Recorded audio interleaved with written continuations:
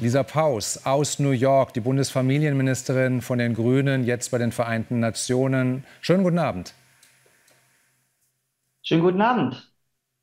Sie wollen sich für die wirtschaftliche Gleichstellung von Männern und Frauen bei den Vereinten Nationen einsetzen. Was können Sie denn dort grundsätzlich erreichen?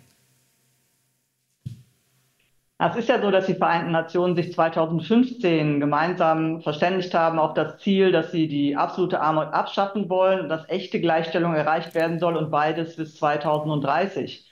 Und jetzt müssen wir Jahr 2024 aber leider feststellen, von beiden Zielen sind wir noch sehr, sehr weit entfernt. Und äh, jetzt bei der Frauenrechtskonferenz, da wird es eben genau darum gehen, nochmal festzustellen, dass eben leider es einen engen strukturellen Zusammenhang gibt zwischen hoher Armut und nicht existierender Gleichstellung. Ich bin fest davon überzeugt und äh, viele Länderkollegen von mir auch. Wir haben uns heute Morgen als europäische Ministerinnen getroffen, dass äh, wenn wir eben feststellen, dass äh, Gleichstellung ein zentraler Schlüssel ist zur Überwindung von Armut, dass wir dann auf jeden Fall weiterkommen. Genau darum wird es gehen bei dieser Konferenz. Die Vereinten Nationen haben zuletzt kein gutes Bild abgegeben, als es um die systematische Vergewaltigung von israelischen Frauen am 7. Oktober ging.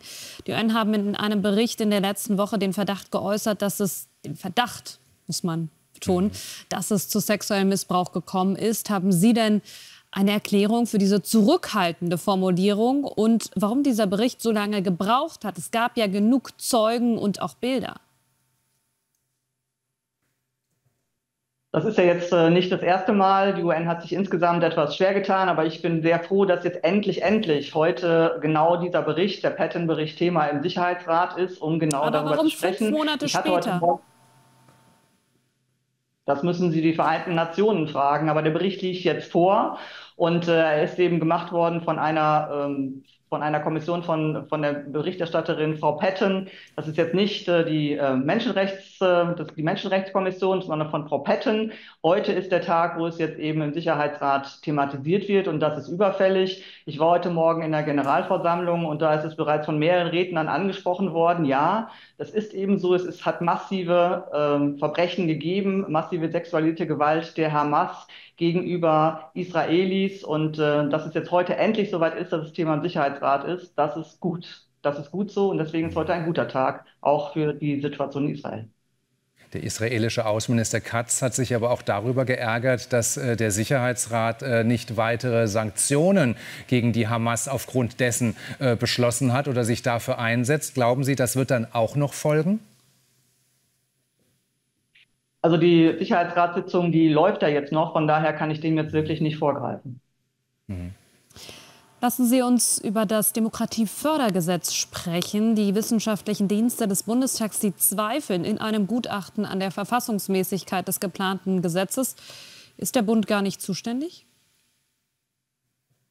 Der Bund ist zuständig. Das Demokratiefördergesetz ist ja im vergangenen Jahr vom Bundeskabinett beschlossen worden. Und dem ist natürlich eine sehr, sehr intensive Prüfung vorangegangen, ob es eben mit der Verfassung zusammenpasst. Und beide Verfassungsressorts, sowohl das Justizministerium als auch das Innenministerium, haben das bestätigt. Von daher ähm, ist dieses äh, Gutachten zwar schön und gut, hat ja nur die Möglichkeit sozusagen eröffnet.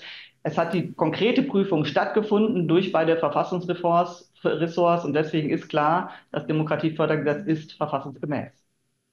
Die FDP kritisiert aber, dass linke NGOs oder gar linksradikale Gruppierungen mit dem Geld der Steuerzahler finanziert werden sollen. Die Liberalen fordern deswegen eine sogenannte Extremismusklausel, damit das Geld eben nicht an die Falschen fließt. Stimmen Sie dem zu?